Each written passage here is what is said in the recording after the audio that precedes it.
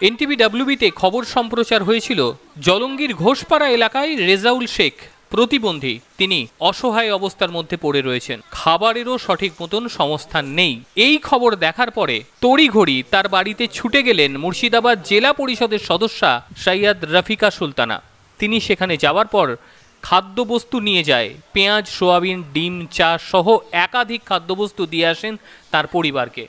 এবং বলেন, এর পরবর্তীতে যদি কোনো প্রয়োজন পড়ে, সেক্ষেত্রে তার ব্যক্তিগতভাবে তাকে সহযোগিতা করবে। এছাড়াও, সরকারিভাবে তাকে কীভাবে সহযোগিতা করা যায়, পুরো বিষয়টি তিনি আলোচনা করবে এবং এই পরিবারটিকে সরকারি সহায়তারও ব্যবস্থা করে দেওয়া হবে। এই প্রসঙ্গে কি বললেন রাফিকা সুলতানা? চলুন শুনি তার বক্তব্য। রাকিবুল ইসলাম বাবুর রিপোর্ট, এনটিভি, ডাব্লিউবি।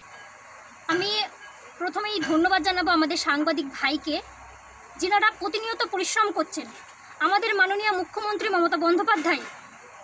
চারিদিকে বাংলার প্রত্যেকটি মানুষ যাতে অনাহারে না থাকে, সেদিকে যেমন নজর দিয়েছেন, করোনার জন্য লড়ছেন এবং আমরা তিনার সৈনিক হিসেবে আমার জলঙ্গি ব্লকে আমি একাধিক বাড়ি যাচ্ছি এবং আজ আমি যে বাড়িতে এসেছি, আমি সাংবাদিকের মাধ্যমে, এখানে এসে আমি দেখলাম সত্যি খুব অসহায় পরিবার।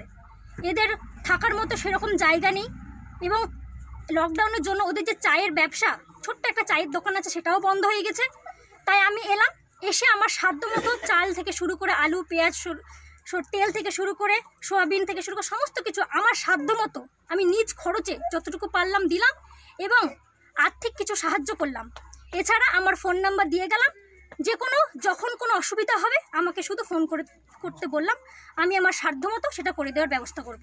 আমি দায়িত্ব নিয়ে বলছি আমি আমার জেলা পরিষদ সভাধিপতি মোশারফ হোসেন মণ্ডল মহাশয়কে জানাব এবং জানিয়ে আমি এটা করে দেওয়ার চেষ্টা করছি এবং করব, সেটা আমি আশা দিতে পারি।